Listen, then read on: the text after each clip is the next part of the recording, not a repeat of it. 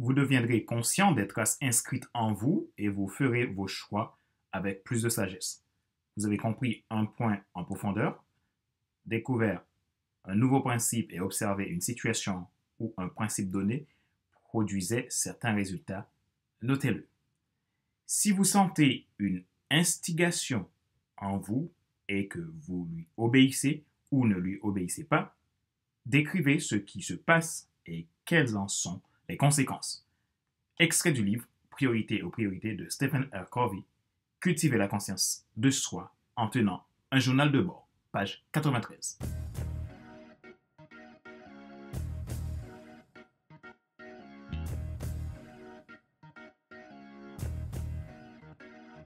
Bonjour mesdames, messieurs. Merci d'avoir rejoint le FC Leadership Podcast, le podcast de la semaine destiné à ceux et celles qui ont assez de suivre la vie et qui veulent passer à l'action, même s'ils ont peur pour vivre enfin leur rêve.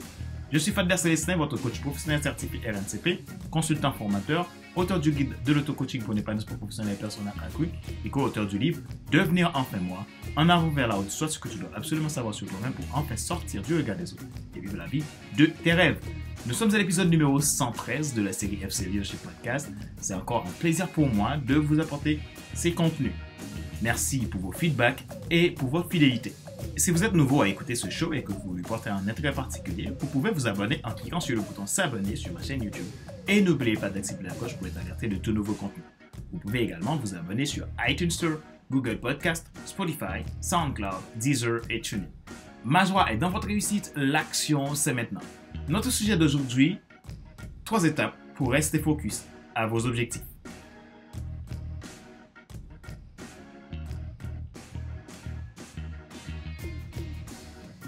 De nombreux entrepreneurs, dirigeants, leaders se sentent dispersés, dépassés ou improductifs à cause de la submersion de leur temps. Il est courant de penser et de se répéter je n'en ai tout simplement pas assez de temps.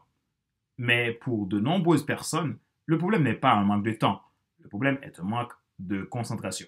Dans cet épisode, parlons de la manière de se recentrer sur ce qui compte le plus afin d'aller à la réalisation de votre destinée. L'une de vos responsabilités les plus importantes en tant que leader est de vous concentrer et de diriger votre attention vers ce qui est essentiel pour réaliser ce qui est nécessaire. C'est ainsi que vous pouvez obtenir vos résultats. Souvent, L'attention la plus difficile à se concentrer est la vôtre. La distraction se présente sous toutes les formes et tailles. Alors voyons comment surmonter cette force destructrice qui est la distraction en trois étapes. La première étape, définissez clairement vos victoires à obtenir.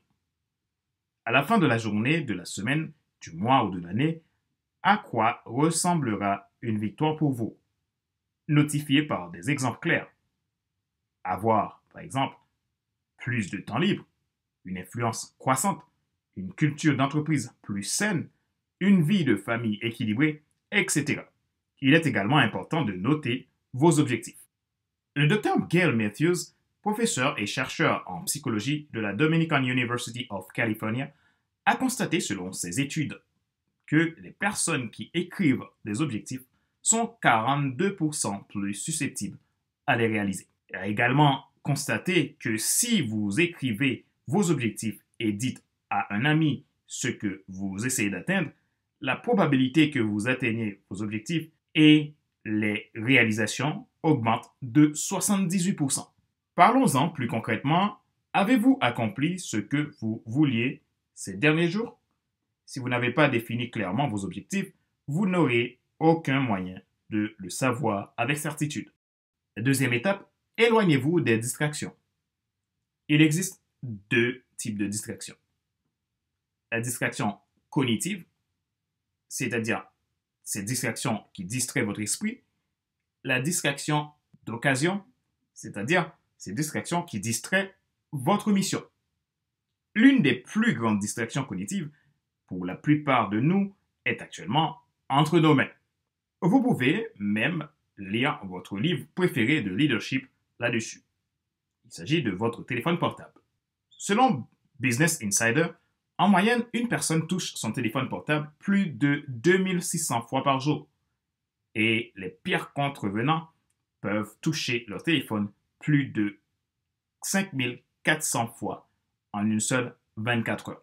Nous passons également plus de temps sur nos téléphones que sur les réseaux sociaux, à peu près deux heures et demie par jour. Vous ne pouvez pas faire ce que vous ne définissez pas, quelque. Alors, comment éliminer ou minimiser les perturbations cognitives? Il faut créer une zone de travail sans distraction. Vous devez être intentionnel dans votre vie. Identifiez les choses qui vous stressent ou vous distraient lorsque vous avez besoin d'avancer. Si votre productivité souffre dans un bureau bruyant, trouvez un environnement calme. Abordons maintenant la distraction liée aux opportunités, appelée distraction d'occasion. Ce sont des opportunités qui semblent bonnes, mais qui pourraient vous garder prisonnier et de ne plus pouvoir faire ce qui est le mieux, votre mission et sa réalisation. Plus vous réussirez dans votre leadership, plus ces opportunités se présenteront sur votre chemin. Vous n'avez pas besoin de dire oui à tout, il vous suffit de dire oui aux bonnes choses.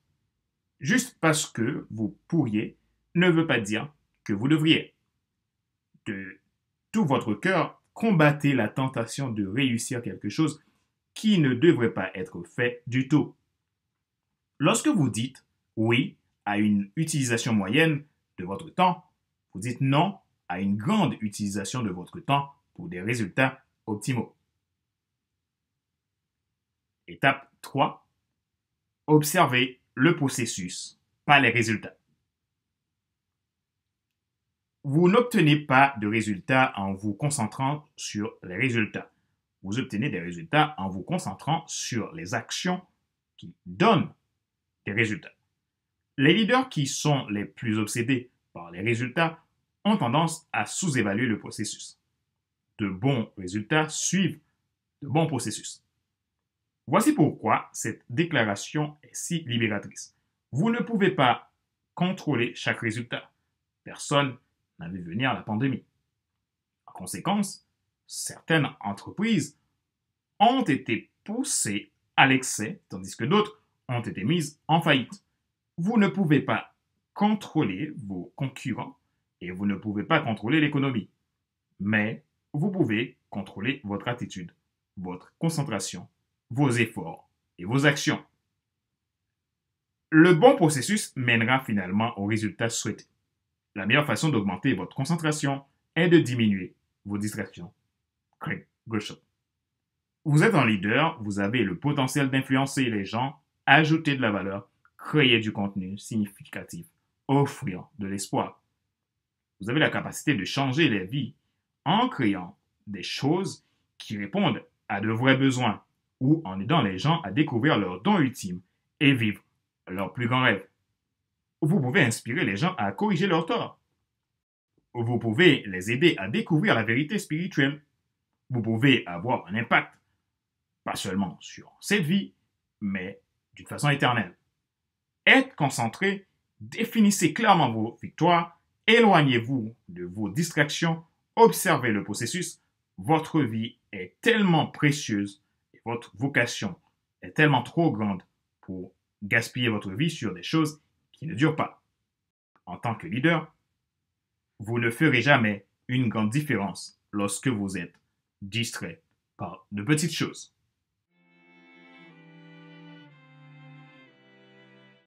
Question de réflexion. Voici un exercice que vous pouvez faire pour grandir en tant que leader. Posez-vous ces questions et répondez-y franchement. Définissez vos victoires à atteindre pour cette année. Que voulez-vous accomplir au cours des 12 prochains mois dans votre vie personnelle, professionnelle ou d'affaires? Dans quel domaine souhaitez-vous évoluer? Où voulez-vous être en tant que leader cette fois l'année prochaine? À quoi ressemblerait pour vous une zone de travail sans distraction? Notez ce que votre environnement serait si vous arriviez à minimiser les perturbations. Comment pouvez-vous vous préparer à l'avance pour créer ce type de zone de travail? Maintenant que vous avez identifié vos objectifs et que vous savez comment éliminer les distractions, quel est le processus que vous devez mettre en place pour obtenir vos victoires?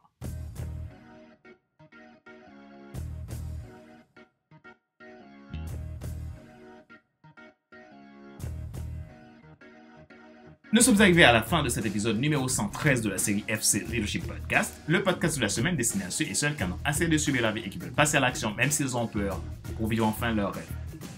Ce show a été présenté par Fadler Célestin, votre coach professionnel certifié RNCP, consultant formateur, auteur du guide de l'auto-coaching pour l'épanouissement professionnel et personnel accru et co-auteur du livre Devenir enfin moi, en avant vers la route de soi, ce que tu dois absolument savoir sur toi-même pour enfin sortir du regard des autres et vivre la vie de tes rêves. Merci pour vos feedbacks et pour votre fidélité. Mon travail consiste à aider les gens à rentrer dans leur destinée, développer leur leadership et réaliser leurs plus grands rêves.